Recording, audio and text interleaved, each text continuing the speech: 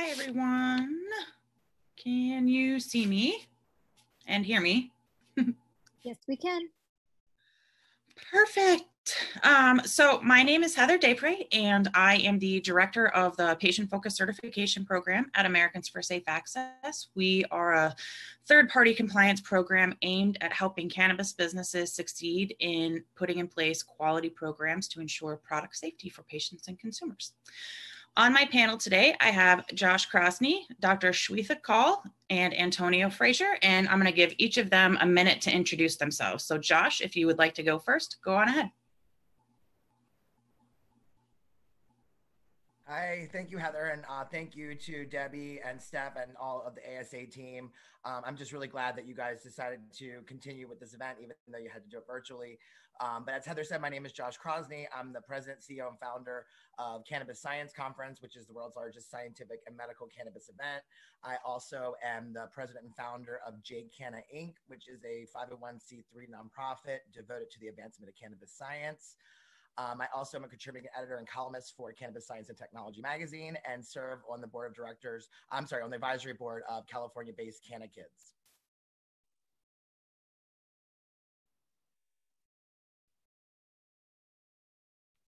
Oh, I have to unmute myself first. Next up, thank you, Josh. Next up, Dr. Swetha Kaul. Hello, can you hear me? We can, thank you. Oh, great. Hi, everyone. My name is Swetha Kaul. Um, I have a PhD in chemistry, and I started off in the pharmaceutical industry, so that's how I kind of made my journey into cannabis. Um, I started one of the first cannabis labs in Orange County, and then um, uh, recently left that position, but I'm the vice president of the California Cannabis Industry Association, which is one of the largest trade groups. Um, I really work a lot on trying to bridge the gap between science and legislation and advocacy, which has been a kind of interesting journey. So hopefully happy to share some of my experience and thoughts um, on bridging some of those uh, gaps. Perfect. And thank you for being able to join us on such short notice. Um, if you know, we were supposed to have uh, Julie Armstrong here. She had a family emergency and was unable to attend. So Dr. Kaul has so kindly filled in her place under uh, very short notice. So thank you very much. Um, Antonio, Antonio, let me give you a second to introduce yourself. Hi, everybody. My name is Antonio Frazier. I am the VP of Operations here at CannaSafe. Uh, we are a compliance QC testing laboratory based in California.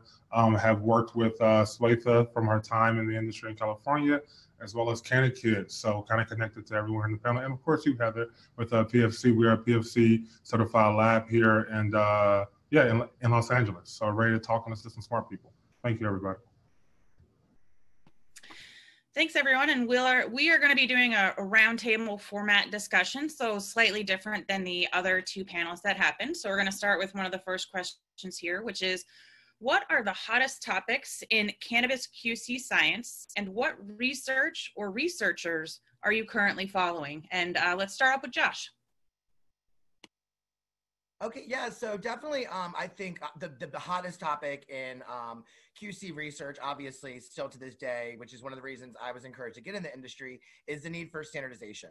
Um, so for those that don't really understand the whole process behind that, um, you know, most industries are, are standardized. You know, my background is um, from staffing and recruiting for the analytical science industry. So as I mentioned a minute ago, when I got involved in cannabis, that was one of the things that was very interesting to me when I realized that this was a medicine that people have been using, you know, legally in California as a medicine since the 90s, but it was not actually required to be tested for quality control. And coming from the background that I did, I was very, um, you know, alarmed and also um, shocked that that, that that was the case. And, um, you know, that's really something that a lot of groups have been working on. You know, we've been part of some of the collaborative groups that are um, working on standardizing the, the, the, testing industry. I'm sure Antonio can talk a lot about that as well and, and his work.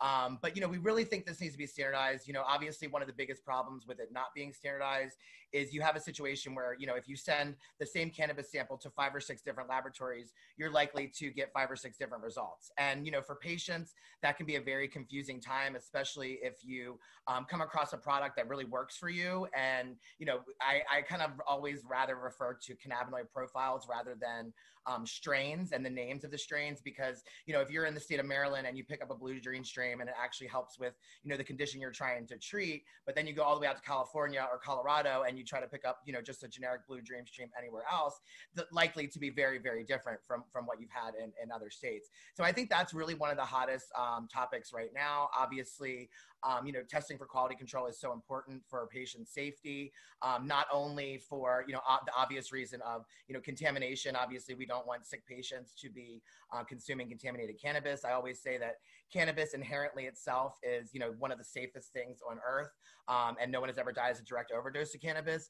But that doesn't mean that we don't have things like contamination and drug interactions and other things to worry about. So obviously, I think that's really important. I also think that, um, you know, accurate labeling and dispensing of the cannabinoids are really important because as I just said, it's more about a cannabinoid profile than it is a, you know, strain name. So really, um, you know, trying to target treat conditions and individuals, it's really important to be able to replicate um, those results. So, um, you know, one of my, you know, favorite researchers in the QC QA space is, is Dr. Jack Henion. He's someone I've been following for years and years and years. Um, so yeah, so that's kind of my two cents on what's going on with QCQA right now. Thanks, Josh. Um, Antonio, what about you? What are some topics that you're seeing that are currently at the forefront of QC science as a laboratory operator? And uh, what research and researchers are you currently following? Yeah, uh, it's a great question. I do agree with everything Josh said. I will say, um, as an operating lab, we obviously are pretty fond of our methods, so uh, we're not necessarily looking for for other ones, but it is certainly a problem. Um, beyond that, though, I think some of the next steps are some of the things that we did uh, last year. Not only just vapor testing, you know, to not to not, not just profile these oils, but to see what we're actually consuming, but as well as of shelf life. You know, we've got a lot of smart operators who are coming in from spaces like food and pharmaceutical who are now demanding that more information be available to protect the patient. Like, how long is my vape cart good? If it if it gets too hot in my car, if it you know if it faces some mechanical stress like being dropped. Uh, if, if my cannabis food products aren't being stored properly, how good are they until they become a threat to the patient? I think that's what's next. And the overall chase we're all trying to figure out is how these cannabinoids um, end up affecting the patient. I think QC is a big part of that because without profiling, you have no idea what uh, you're administering to someone during a trial. So I think that all uh, the profiling is going to be the start, kind of how we build this pyramid to legitimize cannabis science. As far as particular researchers, um, scientifically, I mean, I, am not really a scientist. I'm, a, I'm an operations person. Uh, but overall, I will say Dr. Mechoulam's always a classic. And currently, I can't think of anyone that I'm following personally. No, I'm just all about kind of the political landscape and kind of the efficiency and just um, culture of the whole deal. So I don't really have anyone I can speak on. I know that's pretty bad on the science panel, but y'all got to forgive me. Uh, we will forgive you for that just because we know you do have a small baby at home, so your time has been preoccupied. um, Swetha, what about you? What are um, some current topics in uh, QC chemistry that you're looking at and any research or researchers that you are following? I think standardization is the name of the game right now. So I think there's a lot of um, activity and work that's being done on standardization. But just to bring some perspective, um, you know, the same kind of thing has happened in the food industry, in the EPA industry, when regulations hit and then everyone had to adapt to it. It took a while for standardization to happen. In that those industries, it took you know a few decades for that to happen. I don't think the cannabis industry quite has the patience for that, and I think we're going to see that accelerated and happen in a lot faster manner than you are seeing happen um, in some of those industries.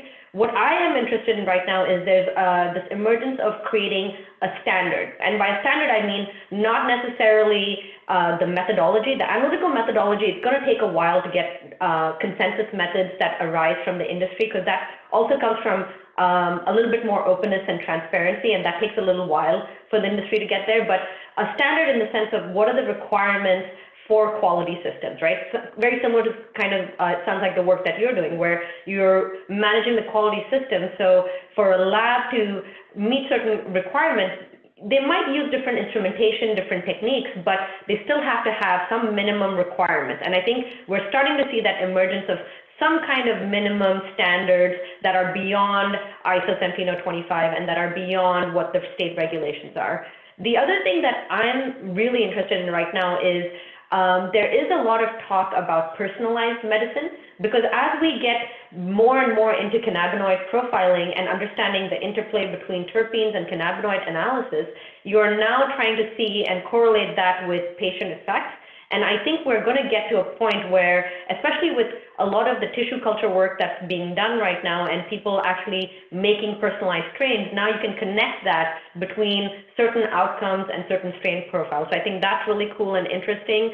Um, I think the dosage studies are important, but I am really interested in low dose analysis. So that means we're looking at different kind of instrumentation. So as an analytical chemist, this is always close to my heart. Uh, I think there are ways that we have all this instrumentation in labs, but people aren't maximizing it, right? Mass specs are very powerful instruments but you can actually maximize that to look at low dose analysis. You can maximize that to look at unknown analysis, right? Right now we're looking at contaminants that the state has a list of. That's probably going to change over time as we understand the plant more and understand how it impacts patients and uh, figure out which ones have negative impacts, which ones are not really commonly found. So that list is going to adapt and change, but that can only happen when you start having unknown analysis. Now, as far as researchers and scientists, a lot of the researchers and scientists that I follow are generally on the clinical side of things, right? So it's like the Tel Aviv University and, you know, a lot of the researchers that are working on things like that. Unfortunately, on the analytical chemistry side of things, a lot of this, this research is actually coming from the vendors. You know, sadly, they're the ones that are able to put information out there without many restrictions. So you're seeing, you know, Agilent and SCIEX and PerkinElmer and Thermo Fisher, and a lot of their teams have some great scientists, and they're actually able to put out unknown analysis. They're able to put out analytical chemistry methods that necessarily the labs are, are not able to put out. I think that's going to change over time, and I'm looking forward to that. I think you're going to start seeing labs start to publish some more. And, you know, there are a lot of really good analytical chemists and PhDs and scientists within the lab industry right now that are a little bit um, you know, uh, held back by the industry's uh, propensity for not sharing information. And I think that's going to start changing. I think you're going to start seeing some publications start to come out from within the industry, and that'll actually lead to what Josh has uh, alluded to, which is the standardization and consensus methodology arising from within.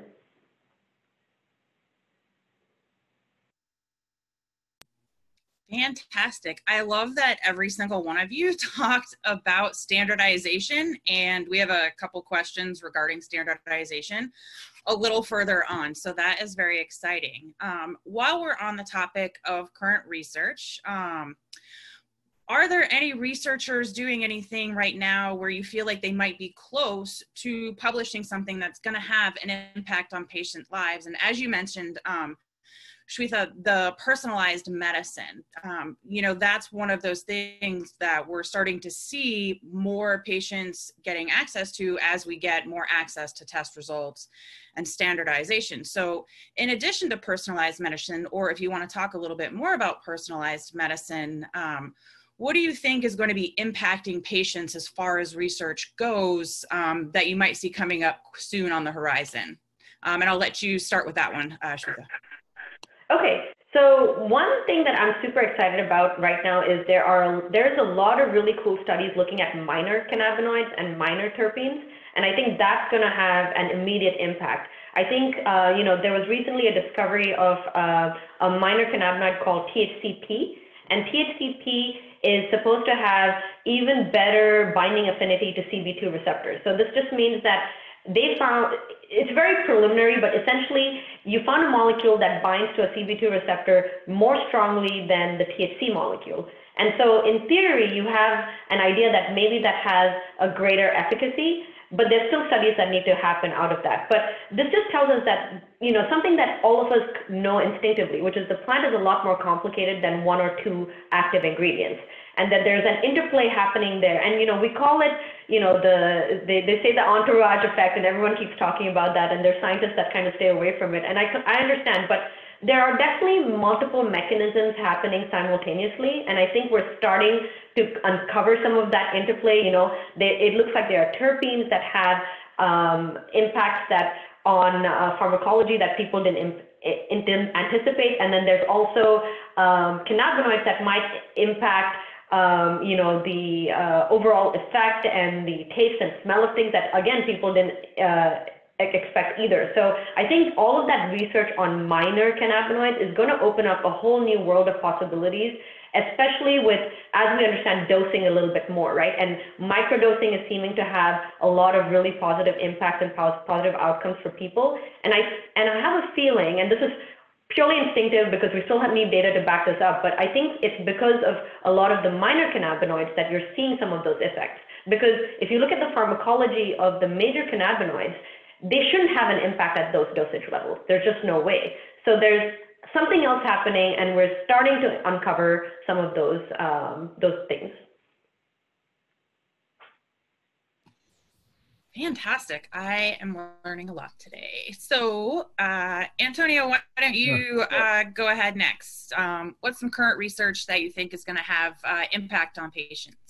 Yeah, thank you. So um, I'll back it up again to the process view because is killing it with some of this clinical, so there's no need for me to uh, re- repeat it. But what I think is next for the patients, like everyone's saying, terpenes, minor cannabinoids, things that are so important. Like uh, in California, terpenes are only required if they're labeled. But the reality of it is, we should be talking terps when people go into, uh, you know, for some kind of consultation. It should be one of the forefronts of the conversation. So with that, we're seeing as a QC, as a profile lab, just better processes for manufacturing to create more consistent products in general. I mean, a lot of people don't, everyone has their own kind of secret sauce, not only in the lab, but also in the manufacturing role and cultivation role. And I come from aerospace and nuclear engineering and manufacturing, and what people don't realize is that at some point they're going to tell you how to build it, not only how to test for it. So what's neat is seeing the, um, especially in California, producers and people uh, to Swetha's point, find new products and new ways to target and to advertise and then to profile and identify and label it for clients to understand better. So what I think the next thing is just information like uh, groups like ASA and uh, ourselves and CSAI, all these different groups out there, Canada is also just educating people, letting them understand these things that we're talking about. Because it's really, I hate to say, I mean, bud tenders really influence. I see some of like 70% of decisions uh, in, in, in a dispensary, and they're just quite frankly unqualified a lot of the time to have that conversation. There are some great people out there doing things to bring that into their stores, but it's just not it's not standardized enough. I mean, I mean, we talk about standardization, all facets of it. That there's some great leaders out there getting ahead of it, trying to help the patient. But until it's required, until there's federal support, until it's mandated, until there's oversight, we're not going to be really, we're not going to be a real industry in the sense of what we're used to seeing things because there's not all those things in place to ensure that things are consistent, clear, and in the best interest of patients. But we're getting there, though. We certainly are getting there. Thanks, Antonio. Uh, and Josh, same to you. Um, what do you what do you see helping patients in the future in terms of uh, new research?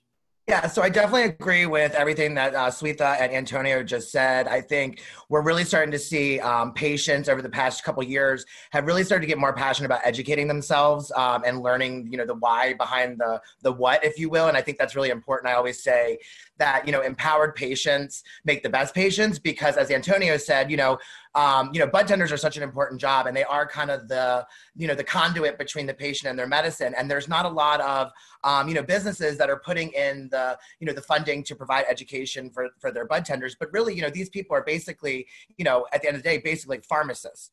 So you know, you if you thought about the, that kind of the other way around, and you thought about walking into a pharmacy and talking to someone there, and they really didn't have the education. So we're starting to see more education with, like I said, the bud tenders, the patients. I think that's great. And I think with that, we're starting to see people opening up. We were kind of in this um, this wind tunnel of everybody wanted like the highest THC, even medical patients that were using it. And I don't know how that you know became the big thing. And you know that's one of the issues we see with testing.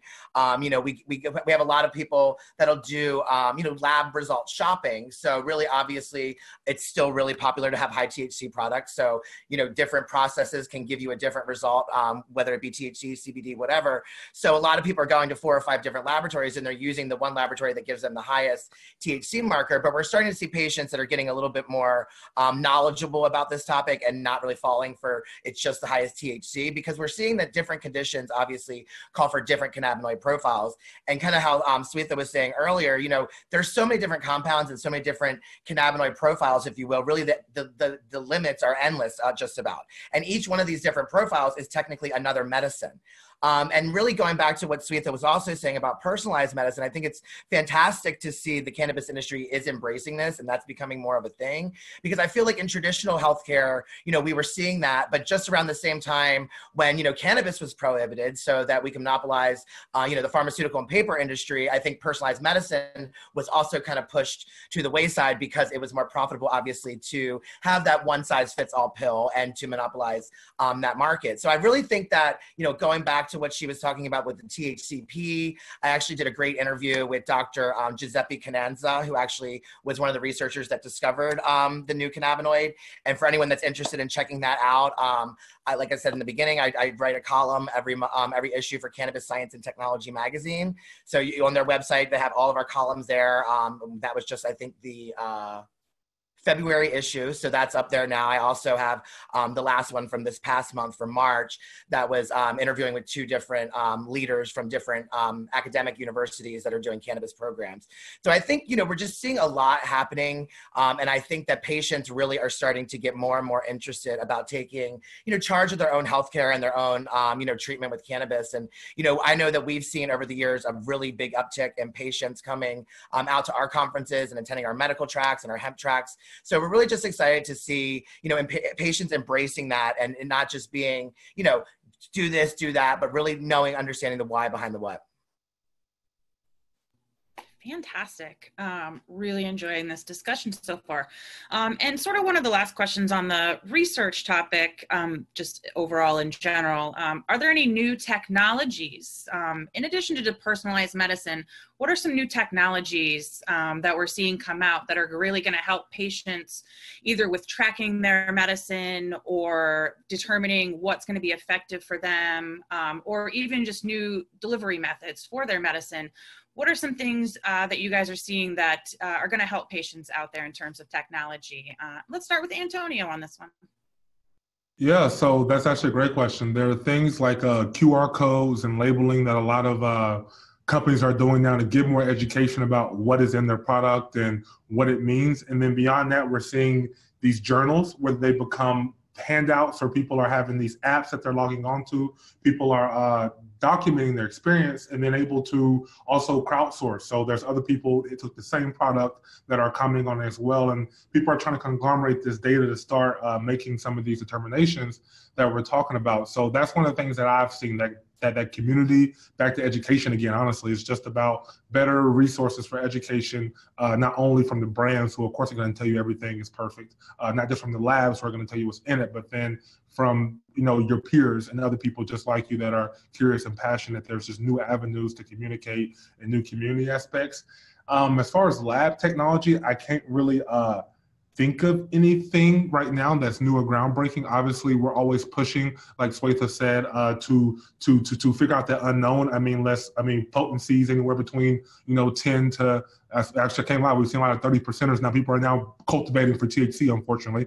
Uh, you know, so so so we've seen things go from you know all the purples and whatnot that aren't supposed to be over 20 to begin with. Now we're seeing them at these lab shops. But uh, beyond that, I guess my, my, my point about new things. Oh my God, I just completely about went on a lab shopping tangent. I'm so sorry. I just completely lost my I lost my turn. of thought. I, I got excited about lab shopping, but what I wanted to say about products was, oh, we don't know what's in the flower. I mean, we got maybe 30% THC, a few points of terpenes. What's the rest of it? What's that other 60%? And that's what we don't know. And people don't realize that. That's why flower is going to have a hard time being standardized or, uh, or anything. Because like Josh said, every single profile is a different medicine technically. We used to look at things at, at a singular, at a single molecule, a single molecule level for the FDA. And until we either change how we view medicine or we really start, you know, isolating and identifying these ratios, we're really going to, there's going to be a gap between traditional uh, medicine and health practitioners and what cannabis is doing. So that's what I believe we're all alluding to is that um, all these new innovations are trying to bridge that gap so our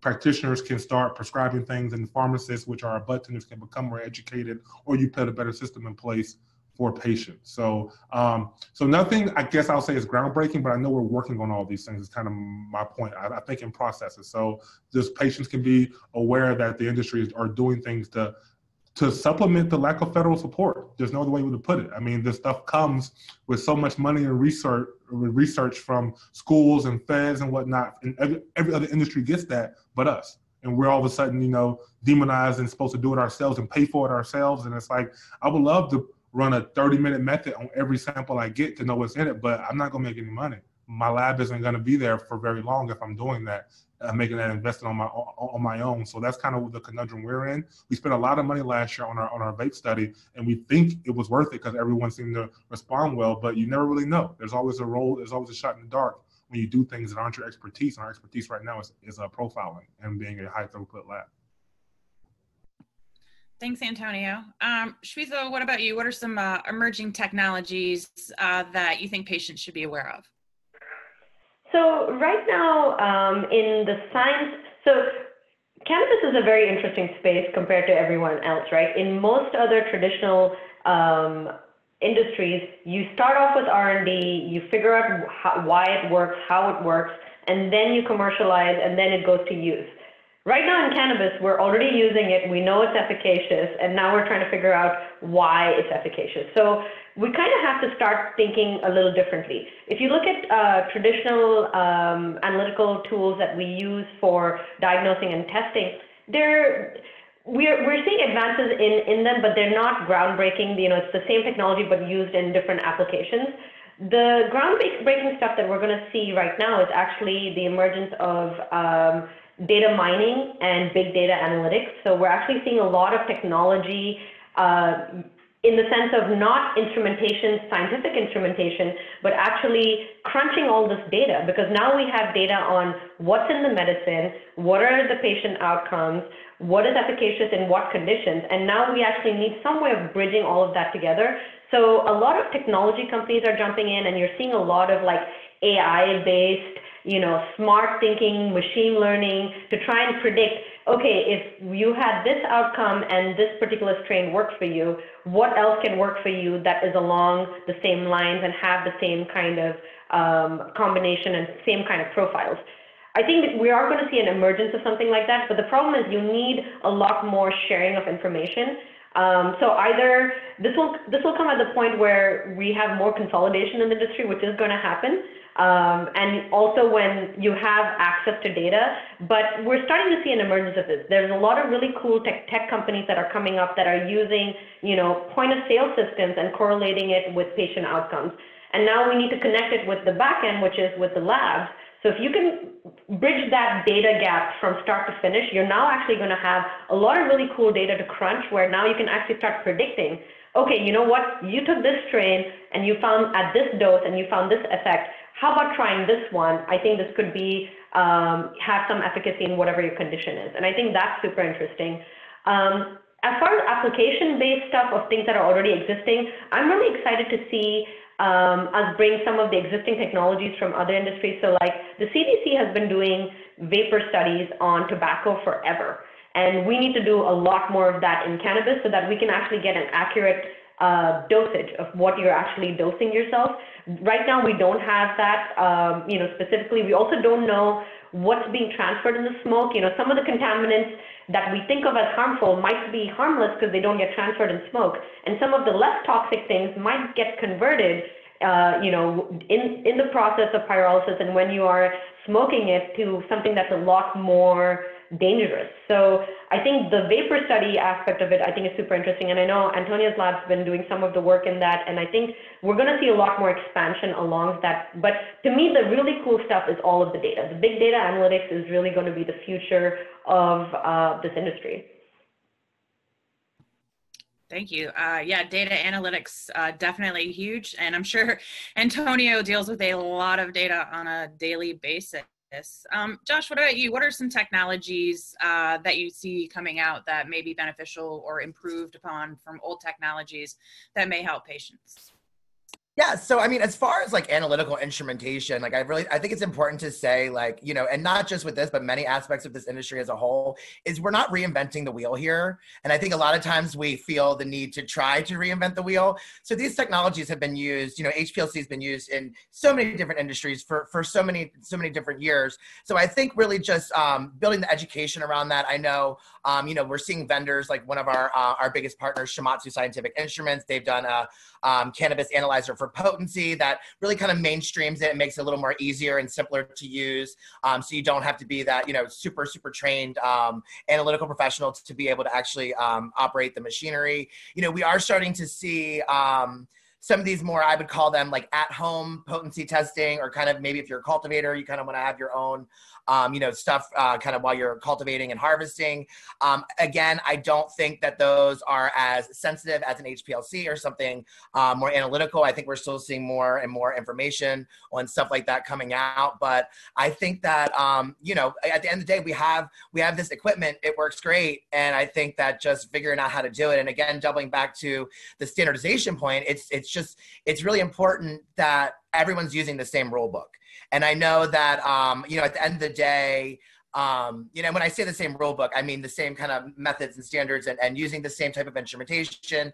Because um, really, any of these things that you change can affect the um, the end results of, of your of your test. So I really feel that getting it standardized, and I know it's it's it's a little challenging because um, you know lab testing market in cannabis is a competitive market. And um, you know i've been to laboratories and you know they're like oh well we can't let you back here because this is our you know proprietary information. And then they let you back there and it's like a nutra blender that they're using for sample prep. So it's a lot that's, that's happening. But again i, I, I kind of really feel that um, when it comes to the analytical um, side of things i really feel that not reinventing the wheel and utilizing the technologies that we've had and improving on them is really uh, key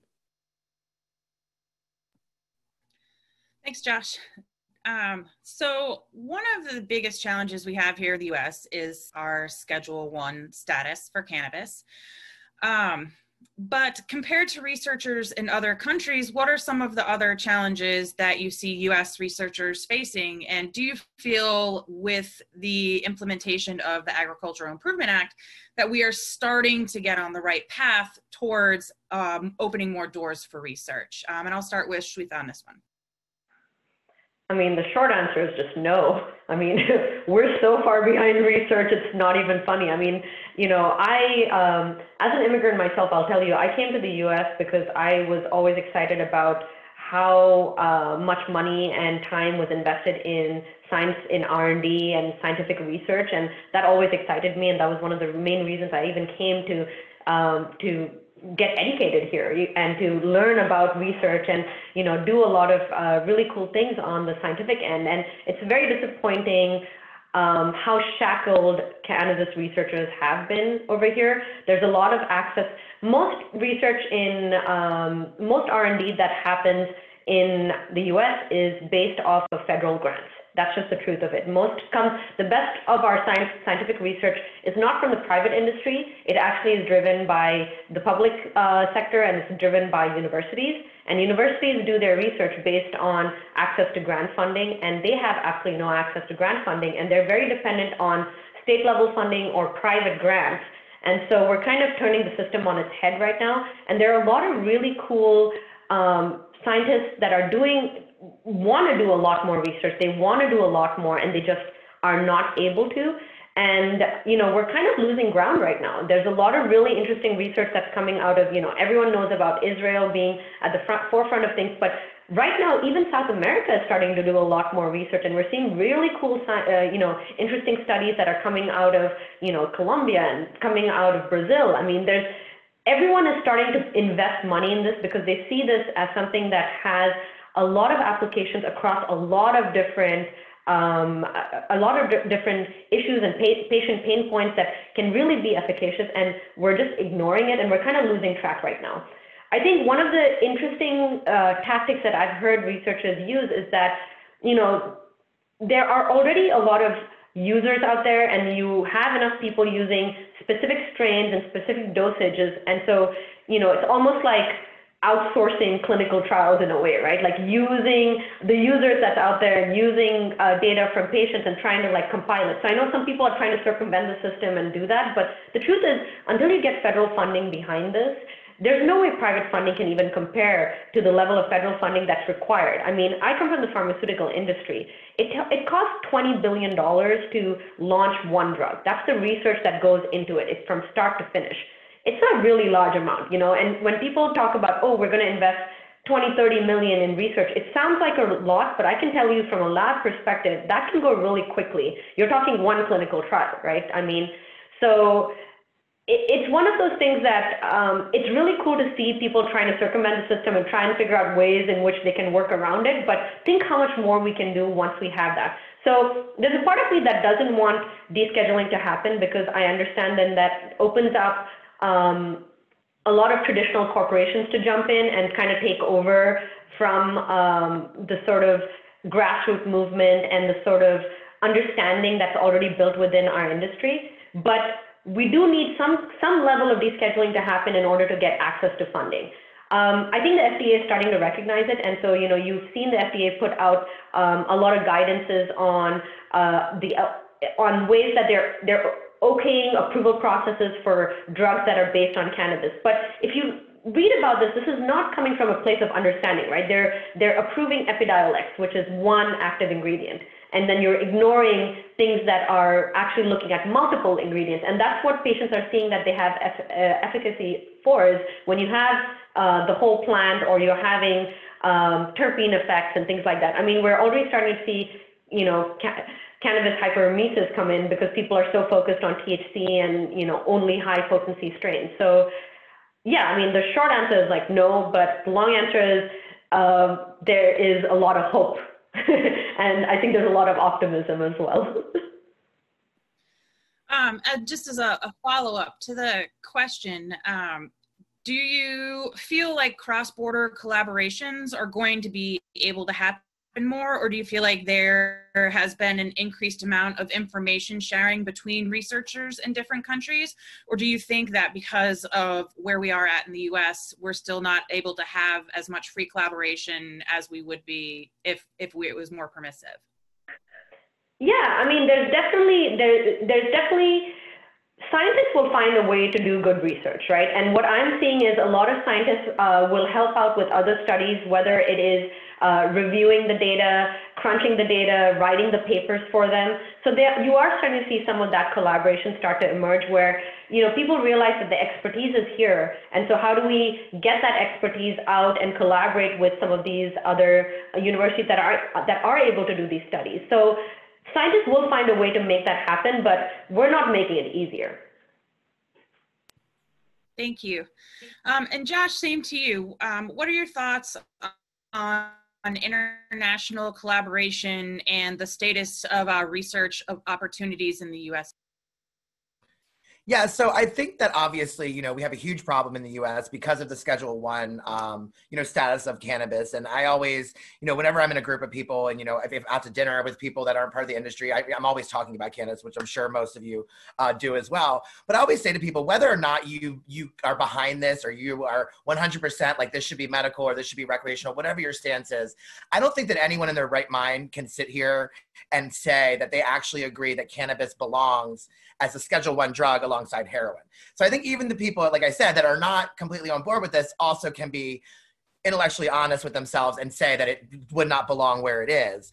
Um, that being said, there's only one source of cannabis for research in the U.S. Um, if you do go after that coveted, you know, Schedule One research license, um, and I'm sure as many of the viewers are familiar with Dr. Sue Sisley, who's one of my dear friends and colleagues that I've been very blessed to be connected with in this industry, um, and she went through all the, you know, the hassle and the, you know, the the hoops and the whistles and the red tape to obtain a Schedule One um, research license. But the only um, cannabis that's you know coming for research is coming from the University of Mississippi, which is being cultivated with standards set forward by um, the National Institute of Drug Abuse. So whenever I tell people that, I'm like, it's really interesting because the National Institute of Drug Abuse's primary role is to study the potential negative um, and harmful effects of drugs, not the potential therapeutic effects. So, you know, that being said, um, they're really using outdated and archaic standards for cultivation. Um, if you've ever heard the joke that it's, you know, it's not your parents' weed anymore, it's kind of like that's what you're getting from from the University of Mississippi. It is, you know, not the kind of cannabis that has been cultivated and really, you know, fine tuned and and turned into what it is today. What we would, you know, find in a dispensary, really in any, you know, any typical market. So I think that's the biggest challenge, and I know that was Sue's biggest challenge was to go through all that work to get this research license, and it really ends up being you're trying to do the apples to oranges thing you know you're trying to get the results from studying apples but you have to use oranges uh, for your research. So that really can be challenging um, you know at the end of the day. So um, i really think it's interesting for those of you who aren't familiar with dr sue definitely give her a google check her out. She just um, successfully did sue the dea for the federal monopoly on cannabis for research.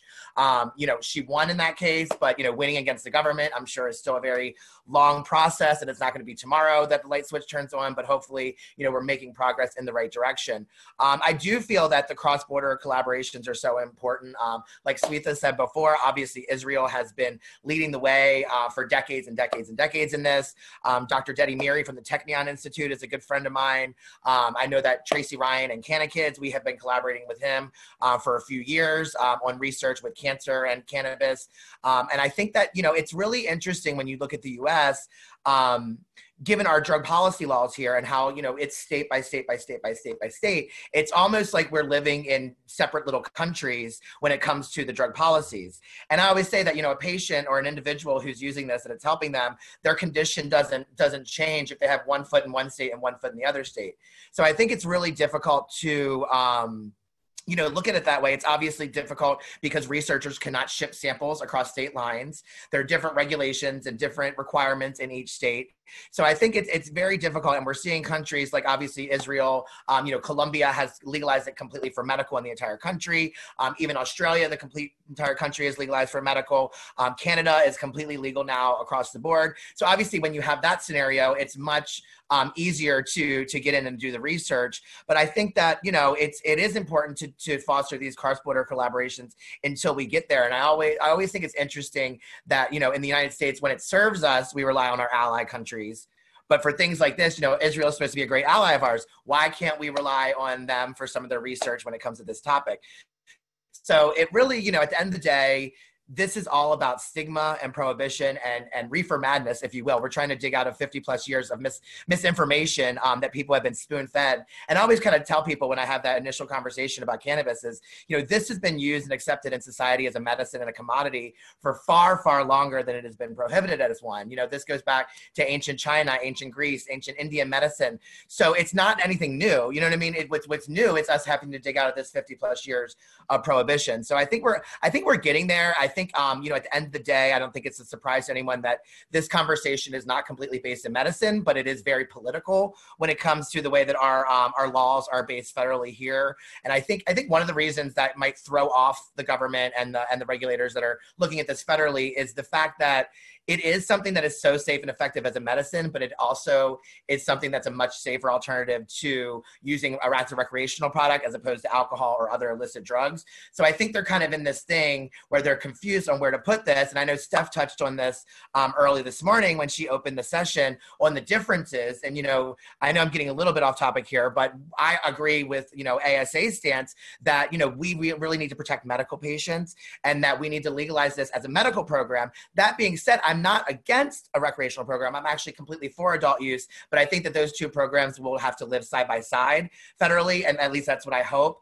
And I really feel that, you know, once we get this going, um, it'll open up more research. But again, if this is, you know, legalized as a recreational product, there might not be as much um, interest and desire from the scientific community to get involved and, and do this research. Thanks, Josh. Um, Antonio, same to you. Um, international research, how is that uh, affecting you and how does that create challenges? Um, I'll keep it brief because everyone touched on it. It's essentially the lack of access to products. If you can't move THC even across state lines, how can I correlate with lab in a different state? How can we make sure the results will look the same? Uh, we get CBD from all over the world actually here at CannaSafe. So it's interesting, you know, seeing the different products and seeing different solvents being used. I mean, California has a big list, but doesn't mean it's the only list, you know, so there's a lot of issues and gaps created that we're so far behind on. And just another outlook and uh, that I'll hit on so we can keep moving is that uh, when you realize that marijuana arrests are pretty much what funds the war on drugs, it is the highest proportion. It is uh, the biggest moneymaker for our federal government. You kind of realize why they're not moving their feet. I mean, if marijuana was dangerous, they would have regulated it a long time ago. It would have already had research. It would have already, uh, you know, had everything you want to know about it. But it's not dangerous. So there's been no movement, nothing forcing our government to do anything besides the politics and unfortunately making money off of a disproportionate part of our community. Thanks, Antonio. Um, we have, uh, we're going to work through one more set of questions that we've got, and then we'll move on to uh, attendee questions. And so uh, we touched on the Farm Bill just a little bit earlier, but um, how does hemp search hemp research vary from cannabis research and are the barriers uh, different for you now um, and let's start uh, with you josh yeah, so I think that you know, obviously, with with the Farm Bill, that has essentially, um, you know, obviously technically legalized um, CBD and hemp products. Um, you know, I I think it's really interesting because you know we kind of were all this one community kind of fighting for the same thing um, for, for all these years. But then when that happened, we've kind of started to see a divide in the industry where CBD and hemp are starting to go on their own kind of um, industry, kind of separating from the cannabis industry. And we're starting to see, you know, hemp and CBD brands are not really, um, you know, wanting to associate with with cannabis conferences or cannabis brands or things like that. They're wanting to get more involved with, you know, health and wellness shows and beauty expos and things like that. So in, in that sense, I feel that, um, you know, CBD and hemp, it is cannabis. We're talking about, you know, it's it, we're talking about the same, you know, thing at the end of the day. So like, I don't know that I'm a big fan of kind of this industry separating, but I get it from a business standpoint. You know, that is kind of a, you know, not a loophole, but a way that you can um, do those CBD and hemp specific products, um, you know, legally. And I know that there have been, um, you know, quite some issues with that. I know that um, there have been some warning letters sent out by the FDA about um, hemp and, and CBD brands that are making erroneous medical claims.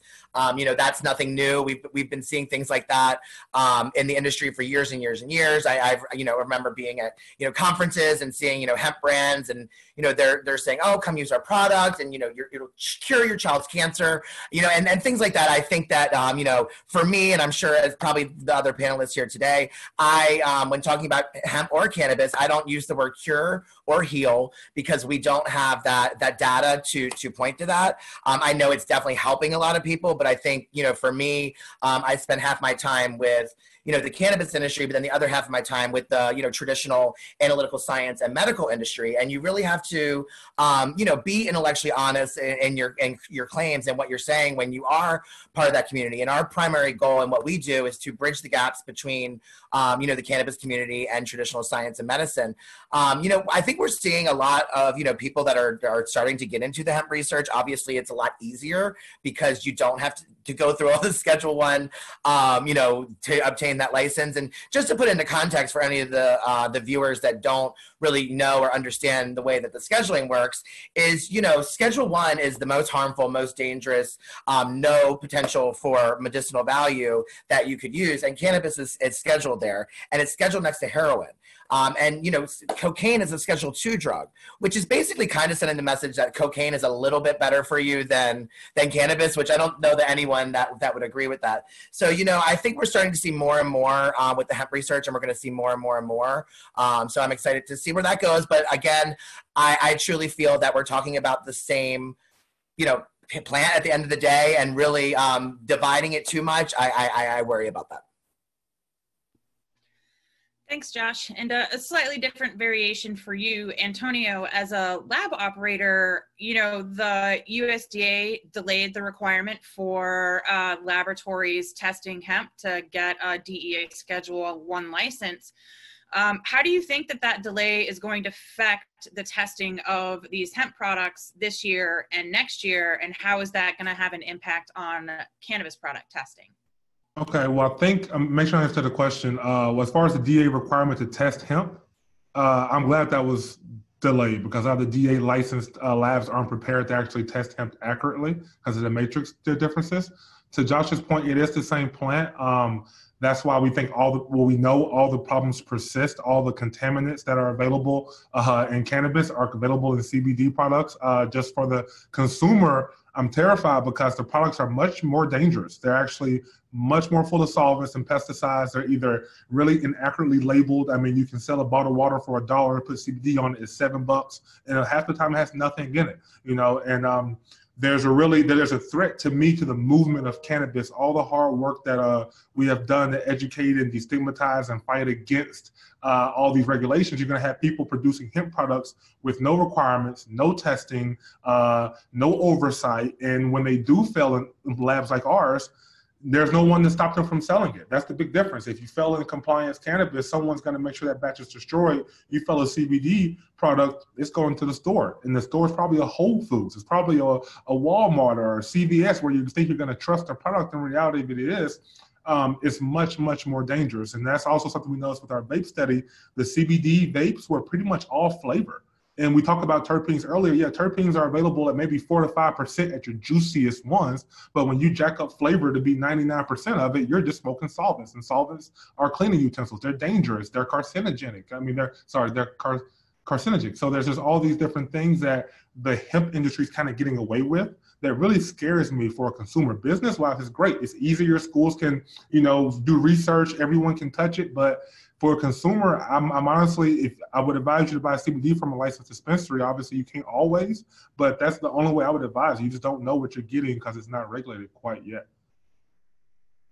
Yeah, and I just want to double down. Like, I absolutely agree with everything that Antonio just said, and I think that, um, you know, just because it's legal and you can find it at a gas station doesn't mean you should buy it at a gas station. And I think we're, you know, seeing kind of some of the most, like I've seen some of the most ridiculous um, CBD products since we've, you know, been seeing this farm farm bill, and you know, things like CBD infused pillows and CBD infused yoga pants. And i'm just like what are we what are we doing here? You know what i mean? And i'm sure antonio can probably attest to like how do you go about testing for quality control cbd yoga pants? I mean what does that even look like yeah. I'll take it one step further. I mean, we've seen tampons and all kind of suppositories. We see all kind of things in the labs infused with CBD. Uh, but uh, I guess even beyond all of that, uh, about the products and efficacy, the one of the bigger concern is, oh my gosh, you just you just said it, it just made me blank my mind here. Um, actually, I'll let you continue. I just I, I, just had a I had a funny story to tell you. I just completely forgot what it was, but I'll I'll bring it back if I can remember.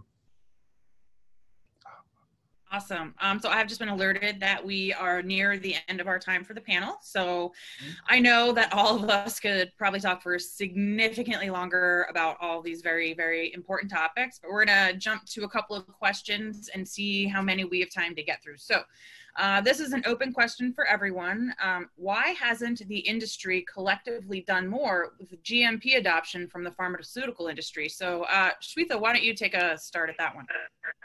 So, I mean, we are still a fairly new industry. I, I, I, mean, you know, if you look at the regulated market, it's only a few years old. Uh, these conversations are already happening. Um, GMP is a good manufacturing practices, so honestly, there's not much the labs can do with that. We recommend it, and I think a lot of labs tell people that you should have good manufacturing practices. Um, a lot of times, initially it was hard to translate a lot of the different processes for uh, that were specific to cannabis in the guidelines of good manufacturing practices. But the truth is, most of it is good documentation, uh, standardized SOPs, and making sure that people follow procedures in a very reproducible manner. And so you are starting to see that emerge. And I think recently there was, before COVID-19 happened, there was actually a bill in the legislature that was going to recommend that be a requirement, that be added to regulations that manufacturers have GMP requirements. And surprisingly, it came from the manufacturers themselves. So I think this is something that they recognize is a need. And, you know, I am all for it because the labs have always had, you know, standardization sort of um, yelled at us constantly, right? So ISO 17025 and GLP standards and any other standard you can throw at it, the labs are open to it. But I think the rest of the industry is catching up right now, realizing that this is good for everyone. So we'll, we'll get there. I wouldn't be surprised in the next few years, you'll see that become a standard requirement as part of regulations in the legal cannabis industry across states. Thank you. Uh, and uh, Josh, what are your thoughts on uh, GMP requirements? Yeah, well, I think again, like going back to, you know, obviously reinventing the wheel. We're not reinventing the wheel here. And I think a lot of the analytical techniques that we're looking at and we're using come from pharma or food safety or environmental. So I think that, um, you know, obviously, um, you know there is a disconnect between the cannabis industry and community and the pharmaceutical industry and i think a lot of people um, really have fears about you know what it would look like if you know this was switched over um, federally. Would it go to pharma? Would it still stay in the industry? I really you know i feel that collaboratively there's a lot to learn from each other. So we that's really what really one of the driving factors of why we started our conference was to really create a platform to bring together, you know, regulators and government officials, but also with the pharmaceutical and medical traditional science industry to collaborate and come together with this industry because obviously, you know, pharma has the capabilities to, you know, bring drugs to market to do things like that. And you know this industry the pioneers and cultivators of this industry have worked you know tirelessly over the past few decades to really cultivate this plant to what it is today. So i feel that there needs to be more of a collaborative kind of conversation back and forth and we really try to foster that um, with our events and what we do so Thanks, Josh. Uh, Antonio, I've got one for you. Um, so right now, most states uh, require product labeling to include THC, CBD, and CBN, but we know that you guys have the capability to test for. Do you see a push for increasing the number of cannabinoids to be listed on a label requirement, or are there ways, because labels are so small and some of these product packages, you don't have a lot of room, are there ways uh, that you can see operators giving this information to consumers so that they know not just THC and CBD that's in their products, exactly. but other cannabinoids, terpenes, things like that? Yeah, um, that is a great question. So there are ways to do it. The packaging does make it difficult. Also, can sometimes mess up branding. So there's a lot of frustration from manufacturers for some of these requirements, but it is necessary. I think uh, between doctors and research, we got to figure out what level cannabinoids are important to report. We got to figure out, you know, what minimum levels do we want to see? Uh, what minimum levels are we going to require? And then, kind of this way, to this point, we do have to set a target list though, because there's so many cannabinoids out there. At some point, we do kind of have to say, okay, these 15 or even 40, however we want to, you have to be able to uh, label or be aware of them at this level. And that's kind of to, I think, her point. Everyone's talking about single molecule this, single molecule that, but between terpenes and all these cannabinoids, there are so many things that matter. And um, there are ways to get it out. I mean, we do QR codes all the time. So you take your phone, you know, you can scan up on results and you see the whole COA. And if you understand that, um, it's, you know, it's very useful. But for the average consumer, it means nothing. So it goes back to education, it goes back to federal support, and it goes back to standardization. Because even with CBD, um, what, what, what I was going to say earlier is that there should be no smokable hemp. I mean, there should it shouldn't be a thing. Anything you smoke should be uh, cannabis based and tested and whatnot because uh, with hemp things aren't being controlled and you don't know anything about terpene levels and all these other things and you can smoke high THC A flower the acid decarboxylated to delta 9 you get high as a kite and you can fail a drug test and lose your job. There's so many things that people don't realize when this new industry gas station. I say all the time smokable hemp in a gas station is dope. You're smoking dope. It's marijuana. I mean it's, it's got THC all in it. Forget about delta 9 not being there quite yet but I guarantee when you put a lighter to it you're going to get some of that and that's why you feel so good too. Um, but yeah, so it is pretty difficult to get all that stuff on the label, but there are ways to get that information and you can demand it from your producer. Just demand the information. If the customer requests it, it'll happen. I, I, I promise you. Thanks, Antonio. Um, we may have time for one more question, or I might be told that we're all done. Okay, so that was it for this panel. Uh, thank you, Josh, Antonia, and Swetha for giving uh, all of the attendees some very valuable information. And we will try to any answer any follow-up questions that we didn't get to um, remotely when we can. Thank you.